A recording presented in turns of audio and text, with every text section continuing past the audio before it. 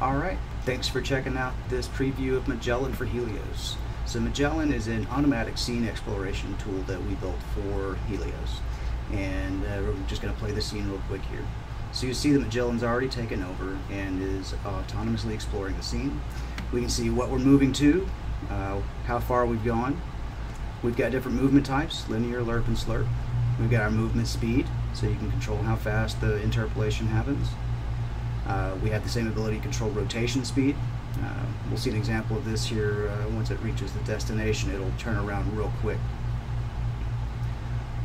Yeah, we see the rock here, and once we reach it, it's just pretty much going to instantly turn around. Okay, so we'll set the rotation speed back. You can pause between shots, so as we hit our destination uh, object here coming up, you'll see we'll wait just about two and a half seconds, and then it'll automatically find the next item. Normalized centers is uh, if you want to find the center of the bounds of the object you're hitting. Click to target's a neat feature to where you can click on, well, you can interrupt. So, you know, as it's already automatically doing its thing, you can click on different things and navigate to them. Uh, it's a pretty, pretty cool feature. Um, yeah, I'll just reset this real quick. Okay. All right. You can set your minimum and maximum targeting distance. So you say the next thing I go to has to be this far or at least this far away. You can set how layers are masked if you want to debug raycast for showing that. You can set collisions, so if you get uh, too close to items, it'll automatically repath itself.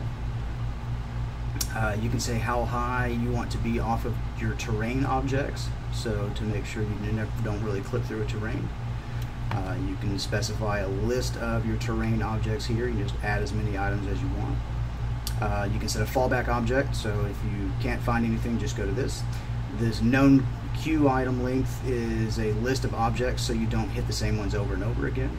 And the ignore list is just a list of things you don't want to hit. Uh, finally, you can tell it what to look at while it's moving. So if we go and just pick this item here and tell it to look at that, no matter what the system does. Here we're gonna, uh, it's gonna go a little crazy for a second. Yeah, that's too much. Let's bring the speed down. So you'll see that it always looks at the same thing. So um, this is just a really cool tool for Helios that lets you automatically record some footage. All right, thanks for taking a look.